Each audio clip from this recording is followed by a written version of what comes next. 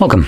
In front of me is a Redmi A3 and today I'll show you how you can enable your power saving mode on this phone. So to get started, let's pull down our notifications uh, twice by swiping down from the top of the screen and from here you're looking for power saving mode somewhere between these well, circles. So for me it is right over here. Once you see it you can simply tap on it. It will bring up this window uh, with a turn on battery saver. Battery saver turns on dark theme, restricts background activity, and delays notifications.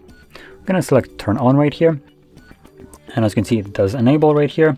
Now, one of the messages there was the restrictions of notifications. And what that entails is when you're not using your device when it's in sleep mode, like so, uh, after a couple minutes, it might just completely disconnect from Wi-Fi and mobile data, and because of that, you either will not be getting any notifications as long as you don't wake up the device, or you will be getting them in delayed successions.